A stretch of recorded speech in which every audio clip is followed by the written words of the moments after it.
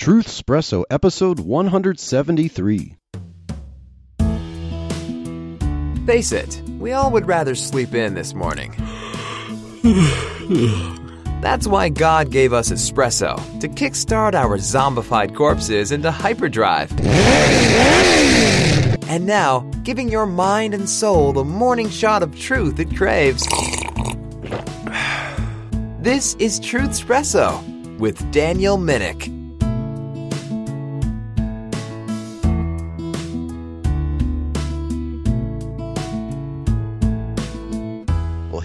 Friends, family, and lurkers alike. This is your host, Daniel Minnick, hosting Truthspresso, in particular, an episode of Truthspresso Express. And this is where I drive to and or from work to talk about whatever topic off topic has interested me for the day or something I read from the news. But in this case, it's a little apropos for the Easter season, Resurrection Day. And I want to continue what I talked about last time, last Truthspresso Express, about transubstantiation.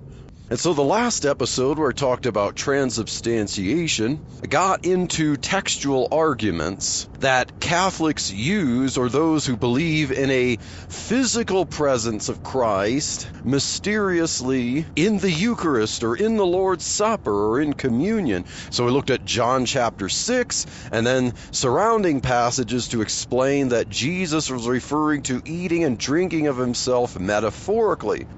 And then the text of the Lord's Supper, where Jesus says, This is my body and this is my blood, or this cup is the new covenant in my blood, and how there's no necessity in taking that, that it somehow transforms the elements of the supper literally into his body or blood in some kind of undetectable, mysterious way.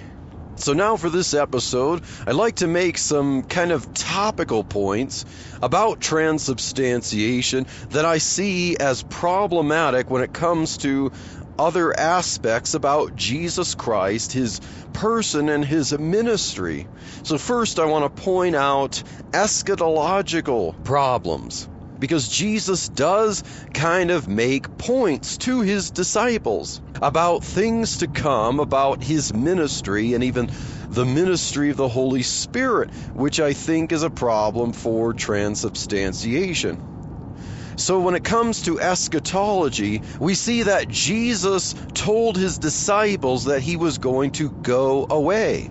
And they were very sorrowful about that because they didn't understand that. They were expecting him that he was there, that he was going to eventually overthrow the Roman Empire, be crowned king, and set up the kingdom. And so he he was there. They were going to welcome him.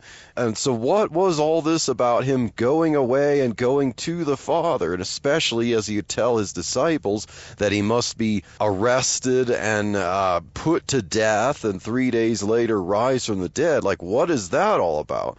But Jesus in John chapter 6 told his disciples that he would leave the world and go to the Father. So he said, You know, I tell you the truth, it is expedient for you that I go away. Wait a minute, it is expedient for you that I go away. So that means that there is a sense in which bodily, physically present in some physical sense that he must go away. It is expedient for them because he's going to go to the Father. He says, A little while and you will see me not. And then yet a little while and you will see me because I go to the Father. So he's saying he's going to go to the Father. You will not see him. And then a little while, you know, in God's timetable, you will see me. But he also explains about sending the Holy Spirit, which he calls another comforter. So Jesus is a comforter, a parakletos to his disciples. And yet he's telling them it is expedient that he goes away. And that he will send the Holy Spirit to be another comforter in his place while he goes to the Father. So the Holy Spirit is our comforter on earth while Jesus is in heaven. And Jesus makes it clear in, in John 14. So in John 14 and 16, he talks about, you know, how he has to leave and he'll send the Holy Spirit and the Holy Spirit's role and they sandwich John 15, which is a passage I talked about last time. I am the true vine. So he uses a metaphor there. so in John 14, Jesus said that he will pray to the Father and that he will give you another comforter, or basically one who will take his place as a comforter as a parakletos. So there are specific roles of Jesus and the Holy Spirit that are made clear in the scriptures and what Jesus tells his disciples who will take up the mantle of his ministry while he is gone he makes this clear the distinction, the mutual exclusiveness of the ministry of the Holy Spirit as another comforter in his place on earth while he is in heaven when he says, For if I go not away, the comforter will not come unto you. But if I depart, I will send him unto you. So, in other words, the Holy Spirit must not come unless Jesus departs. So we have the Holy Spirit on earth today, as Jesus says he will reprove the, the world of sin, of righteousness, and of judgment, and that the Holy Spirit will speak of him, direct people to him, glorify him while he is in heaven. And uh, Peter also uh, on his first sermon at Pentecost when he says that um, Jesus is the one, no, it wasn't David who's exalted, it was Jesus the one who is the heir of the promise that he will not leave his Holy One in Hades to see corruption, but he's raised him up, he's made him, he's exalted him as both Lord and Christ.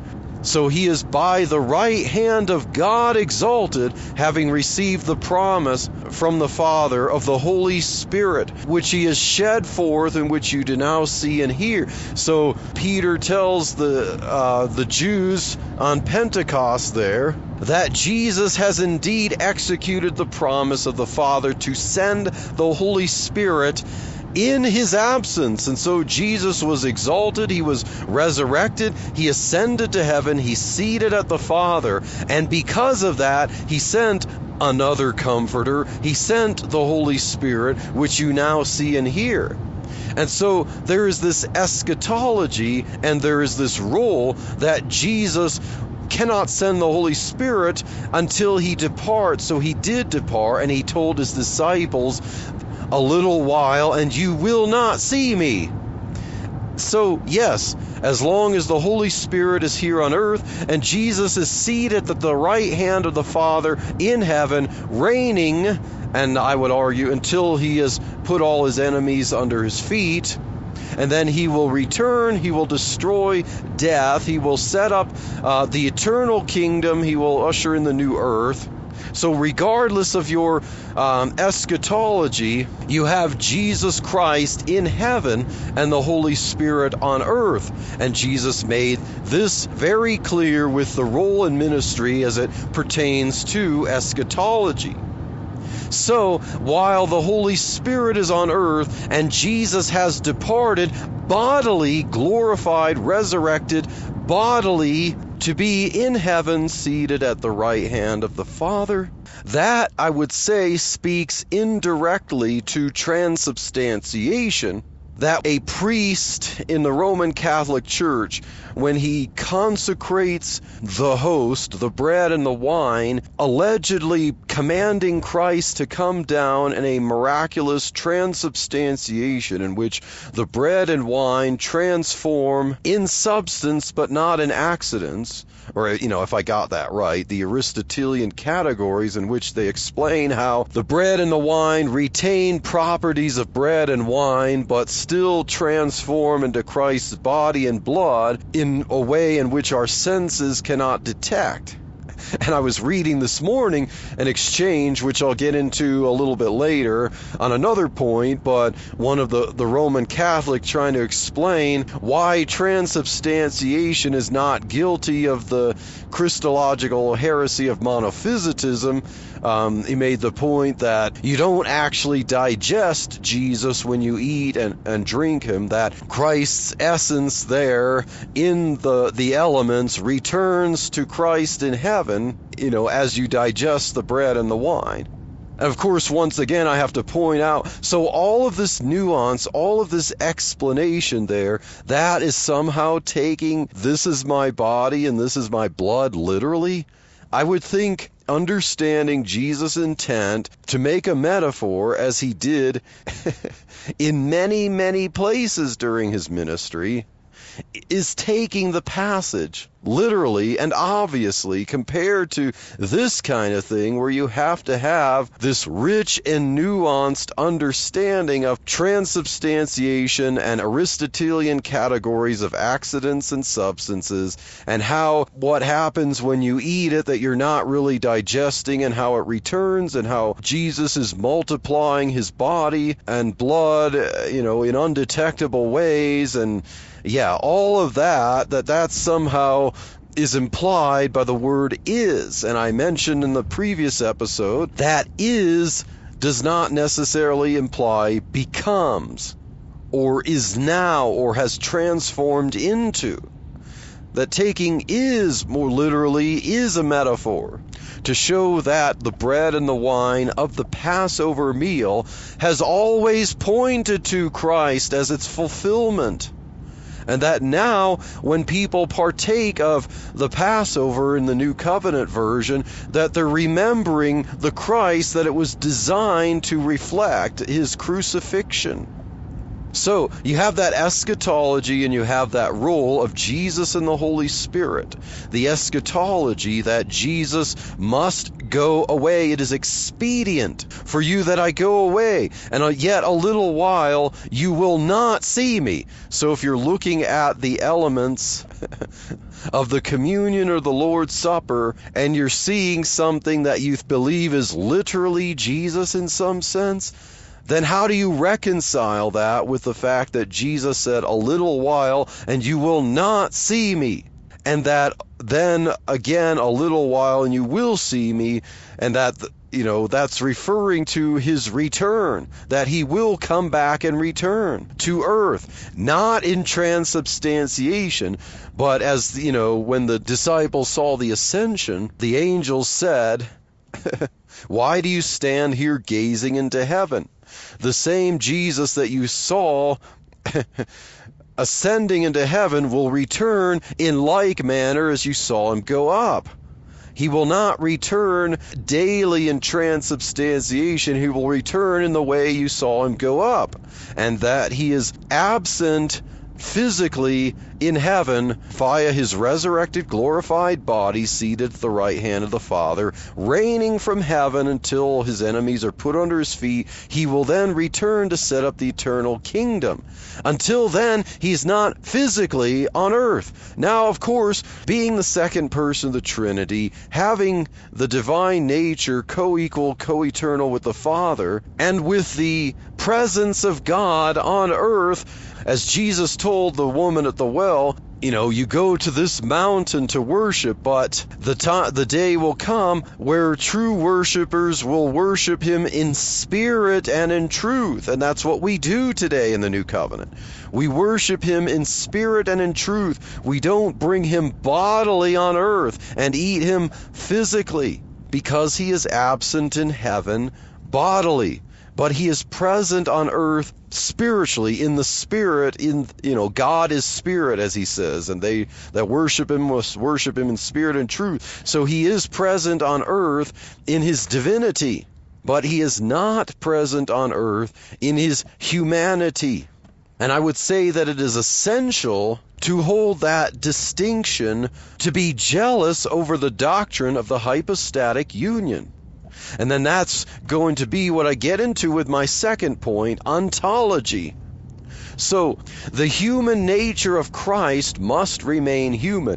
I uh, talked about in the superhero series of episodes comparing Jesus to various superheroes about the various heresies in church history, the Christological errors in identifying Jesus. So he is the one person of the Son. You know, the Trinity, you have three persons and one nature or essence, one divine nature the Father, the Son, and the Holy Spirit, the three in one nature, three persons, one nature.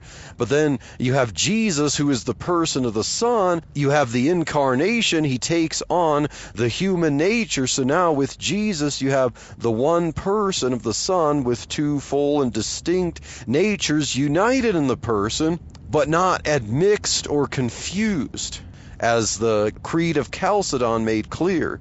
So his humanity remains humanity, his divinity remains hum- divinity, and he is one person with two natures. We don't confuse the two natures. So, as Chalcedon says, the distinction between the two natures is not removed via the union, and the natures both remain unchanged in the union.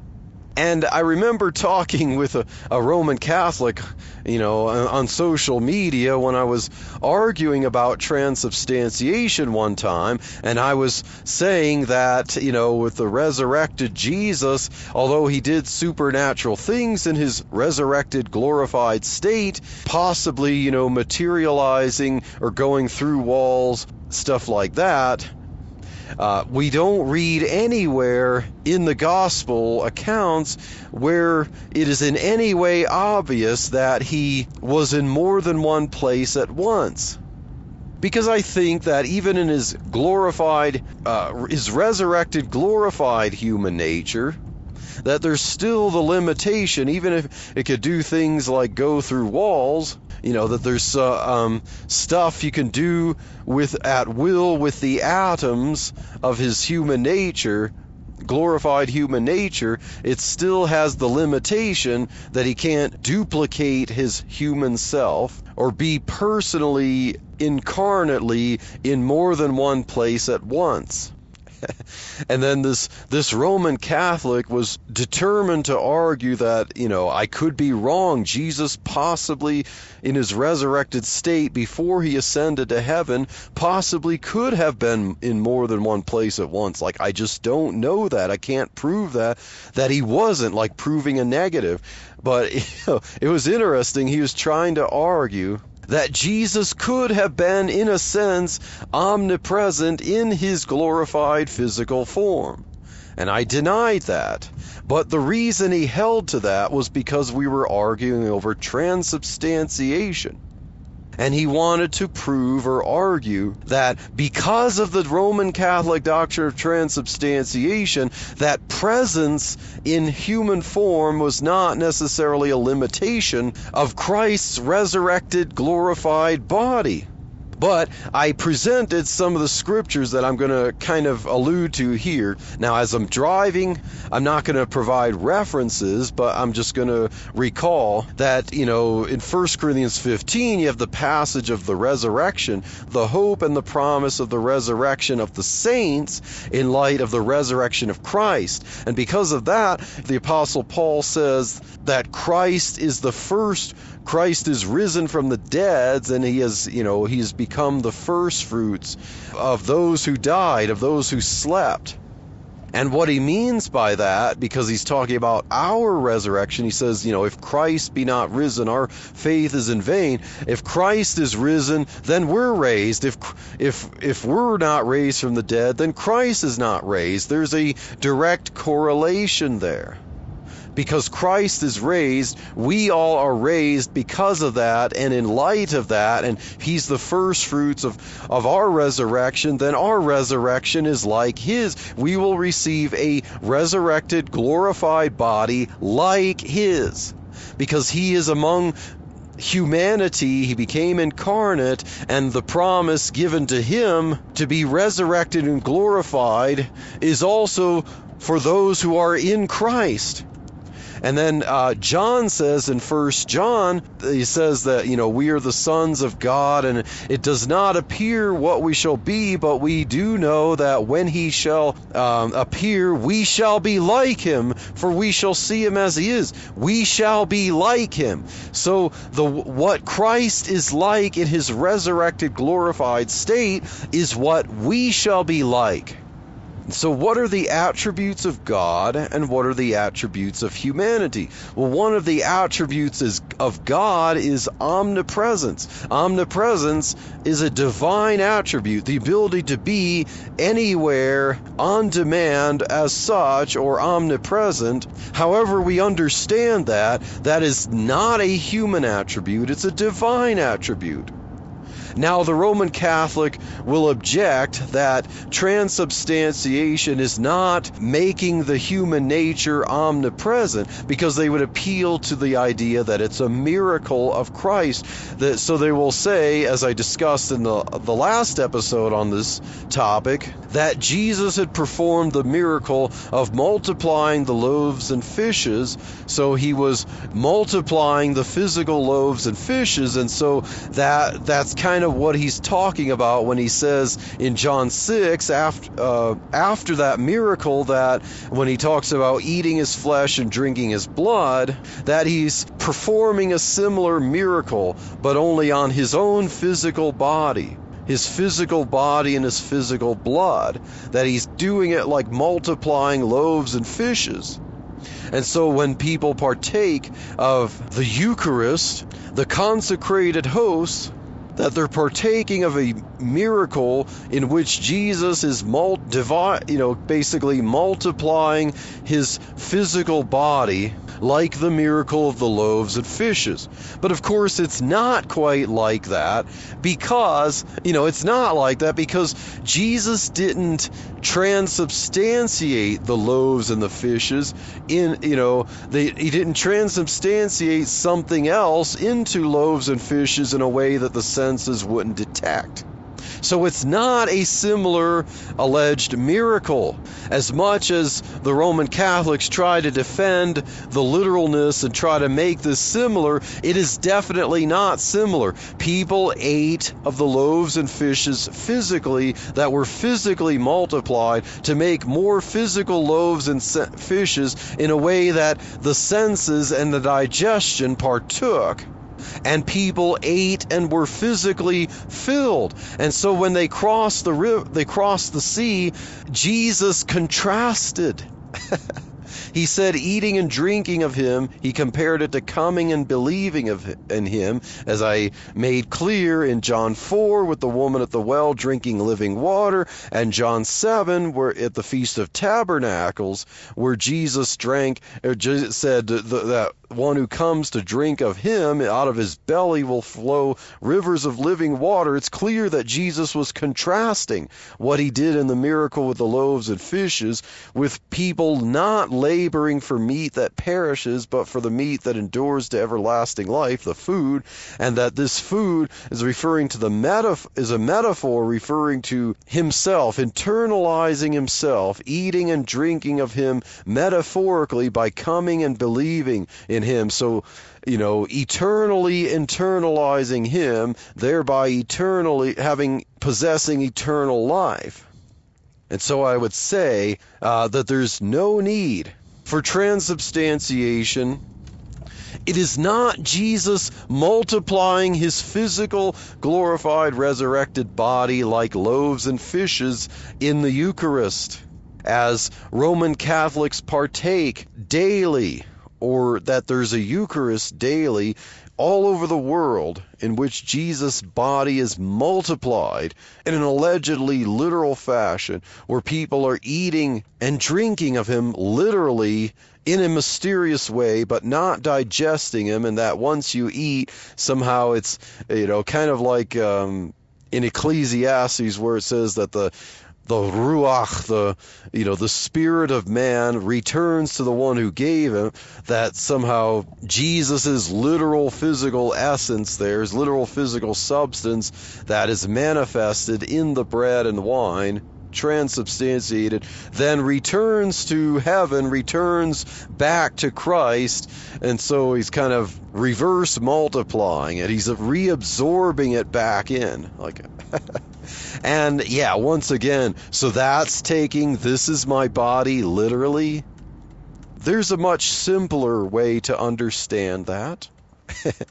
and uh, so one time I was arguing with a Roman Catholic uh, on social media about whether transubstantiation violates Chalcedonian orthodoxy and essentially promotes a form of monophysitism by confusing the attributes of divinity and humanity by claiming that you know on the altar with the Eucharist that it renders Christ body, blood, soul, and divinity on the altar there in the elements.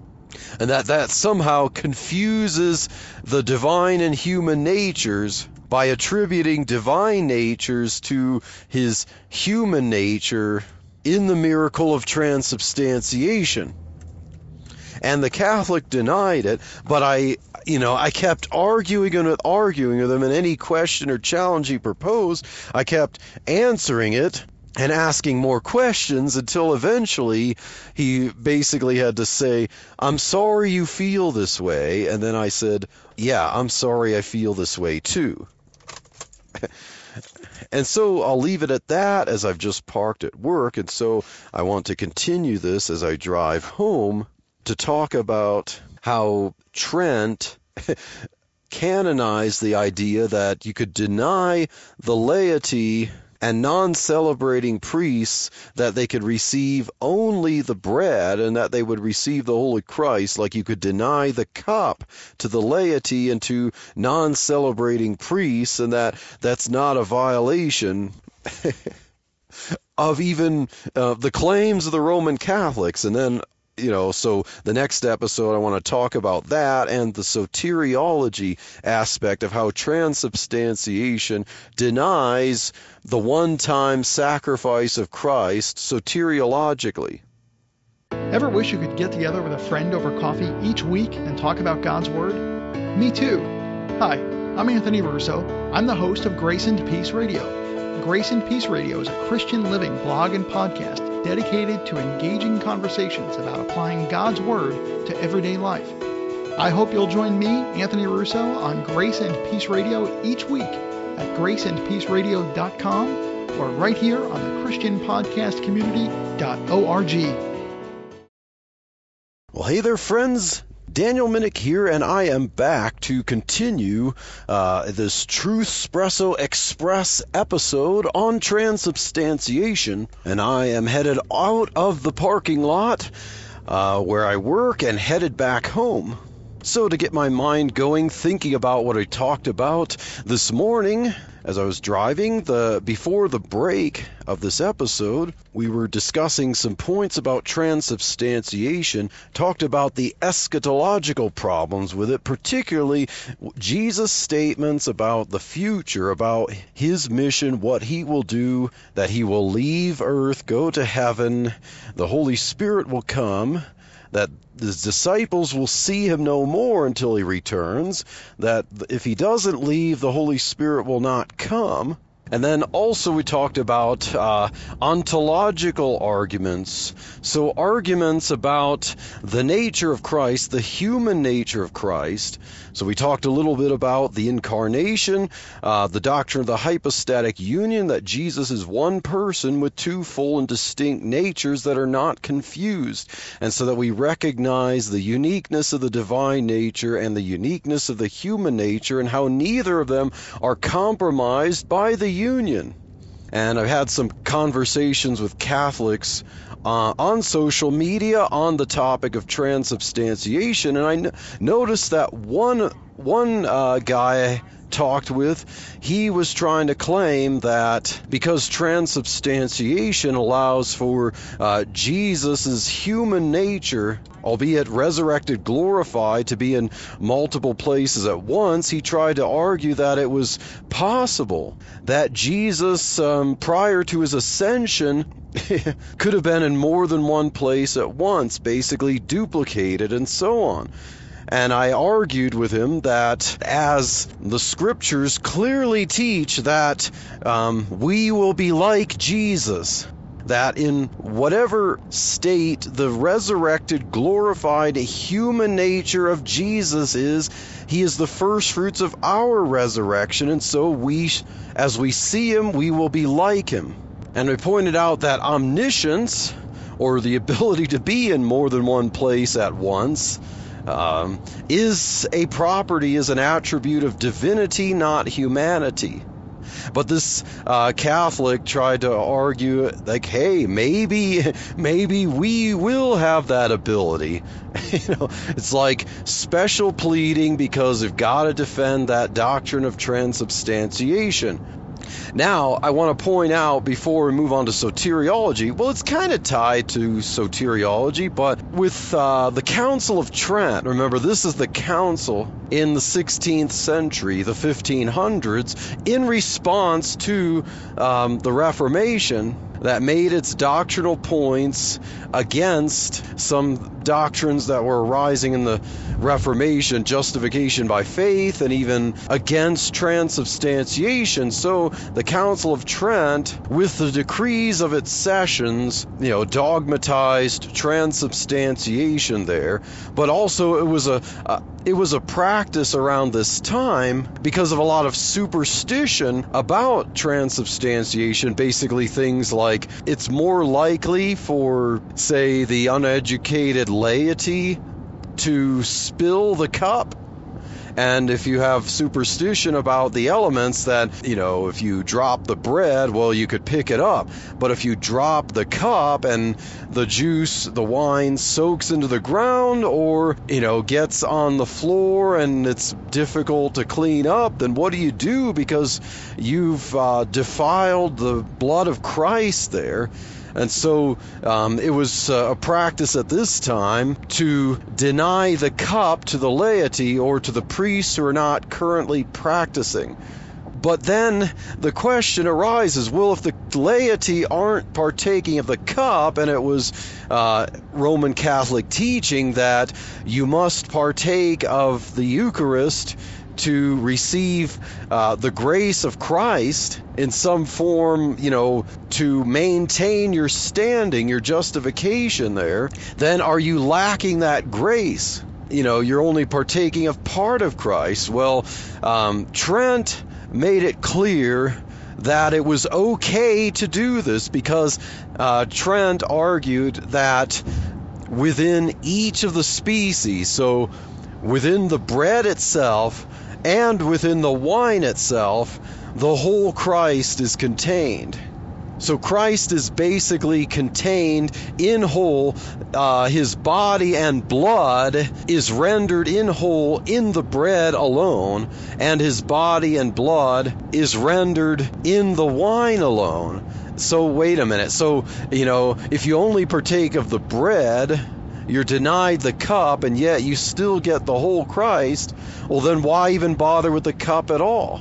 Unless somehow it's part of the consecration. Like you can't, you, you know, the priest can't consecrate the host unless both uh, elements of the host are there, such that each, both of the elements, like it's, it's an all or nothing thing. Like they must both be there to be consecrated, but then each element of the consecration contains all of Christ. So, body, soul, blood, and divinity are all rendered in each of the elements themselves and not body in the bread and blood in the wine. So, we have Trent's declarations.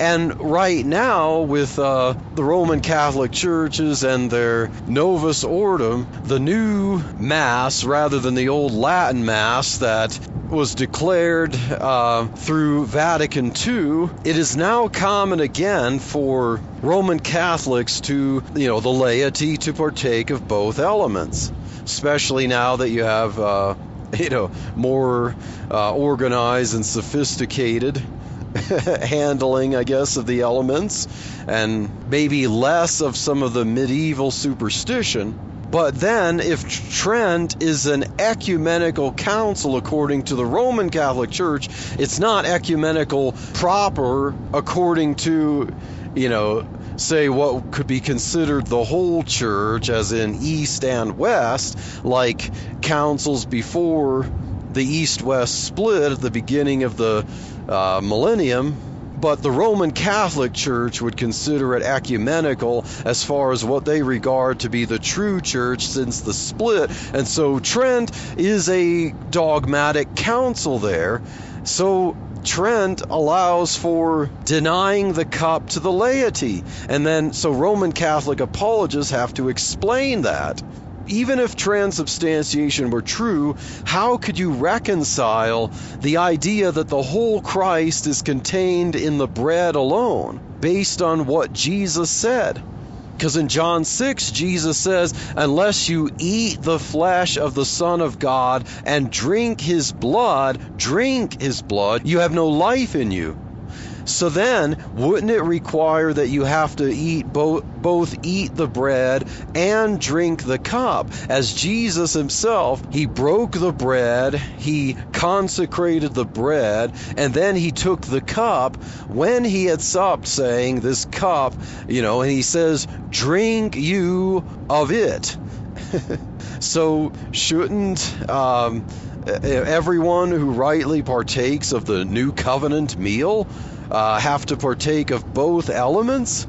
If you're going to take the passages literally, as the Roman Catholics chide uh, Protestants who deny transubstantiation or deny even that the real presence of Christ demands that his body and blood somehow have to be rendered in some physical, mysterious sense, how can you take those passages literally if the bread alone contains Christ's blood? Because Jesus says you have to eat and drink of him Now, can you drink the bread? Is that how Roman Catholics have ever handled the bread? Do they eat some of the bread and then drink the rest of it? But if they're going to say, well, you eat and drink of Christ, the whole Christ by eating of the bread, well, then I think we start to lose the alleged literalness of Jesus' words, and you can no longer hold to this is my body and this is my blood anymore. If when Jesus makes that distinction, and yet we have to say today that the bread, this is my, we have to say of the bread, this is my body and blood. So, if the bread alone is the whole Christ and the wine alone is the whole Christ, so much for taking the words of Jesus literally. And I'll make the point again. Understanding that Jesus is using a metaphor is the most literal sense of his words, especially as we consider all this this controversy with transubstantiation. So now let's talk about some of the soteriology of the the Roman Catholic Mass and transubstantiation. That a Roman Catholic, a faithful Roman Catholic, can keep coming to Mass faithfully, can come daily, can come tens of thousands of times, and yet still commit a mortal sin and still have a final eternal fate in hell shows that eating and drinking of Christ, that Christ's one time sacrifice, is not sufficient to sanctify someone unless that person's will be joined to his sacrifice in such a way that Christ's sacrifice has no effect unless that person continues to represent the sacrifice to the Father and the epistle to the Hebrews multiple times mentions of the one time sacrifice of Christ. Now, I know that Roman Catholics will explain that, you know, there is only one sacrifice, that Jesus offered his body once. They would agree that there's one true sacrifice because they would say, you know, as some Protestants get confused, uh, some Protestants will will claim that the Roman Catholics are sacrificing Christ on the altar every day. Roman Catholics will say, no, this is not a new sacrifice. This is a representation of the one time sacrifice of Christ in an unbloody manner.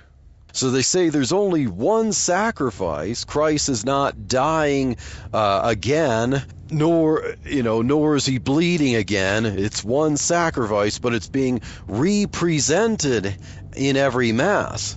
But Hebrews says that by the which will we we are sanctified, we are set apart through the offering of the body of Christ once for all time. Once we are sanctified through that one time offering of Christ. And it talks about how the, all the priests in the Old Testament would stand daily in the altar ministering and offering the same sacrifices which could not take away sin. It could never they could never take away sin. But this man, Jesus, when he had offered one sacrifice, sat down.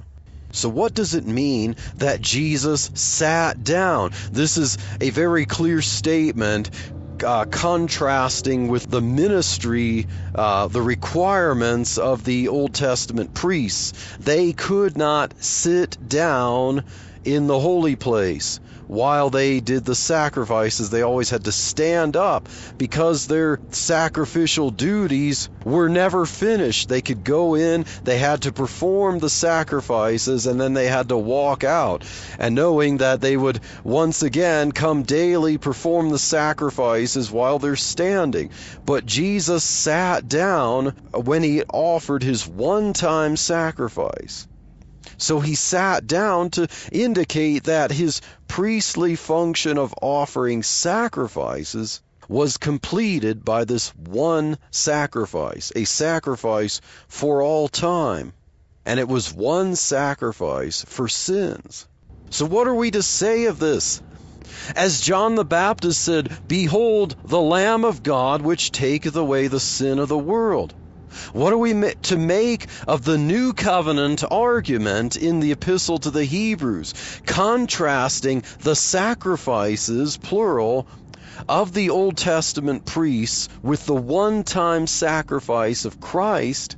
if we must continually make representations of that one sacrifice so that each of them are counted as you know a sacrifice to God like in effect it's the same type of thing you must perform this particular ritual for the effects when Jesus was on the cross giving his one time sacrifice, and he said, Tetelestai, it is finished contrasted with the Old Testament sacrifices, where the writer to the Hebrews says that the blood of bulls and goats uh, cannot take away sin. Why? Because there must be a substitute. And Jesus Christ is that one substitute for all humanity who will be sanctified. And his sacrifice is sufficient to pay for all the sins of the saints. And as I've argued with Roman Catholics on social media, we can't think of the sacrifice of Christ as some kind of substance type thing, as if he took the substance of it, put it up in a vial so that other humans can dispense it out as needed. No, Christ's sacrifice, uh, you know, I've I've argued that the event itself, the event of Christ's actual sacrifice on the cross itself paid for sins, past, present, and future, as pertaining to the forensic justification before God. Now, that doesn't mean that our sins don't carry consequences um, that we will have to bear, you know. and you know break fellowship with each other and you know just as God is our father and we are children our fellowship can suffer but the blood of Jesus Christ in the actual act of his sacrifice is the actual payment. That event itself is the payment for the acts of sin. It's not something as if you could put it in a vial and then use that vial later on.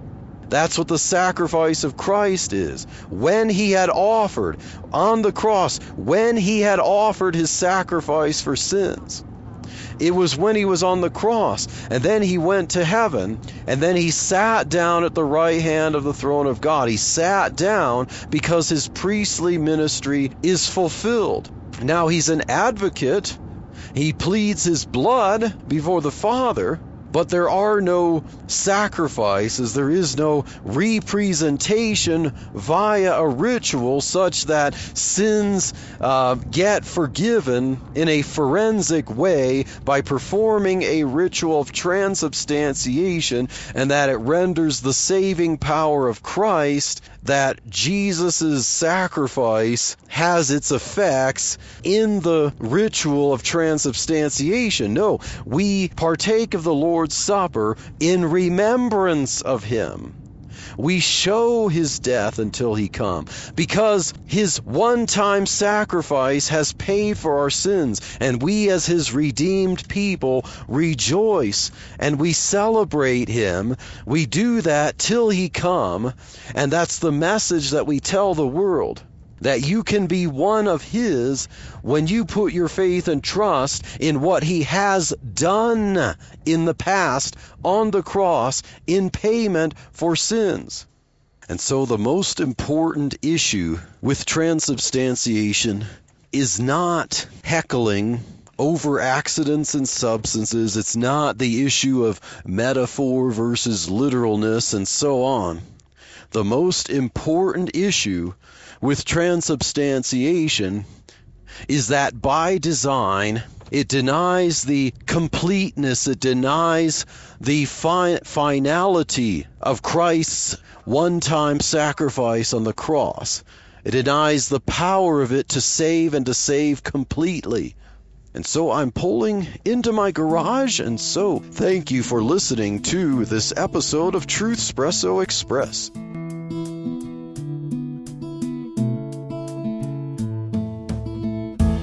Thank you for waking up with Truthspresso. Good morning, and God bless your day. Hey friends, Daniel Minnick here again. If you liked waking up to this episode of Truthspresso, I would really appreciate it if you would rate it on Apple Podcasts, Stitcher, or whatever application you use to listen to Truthspresso.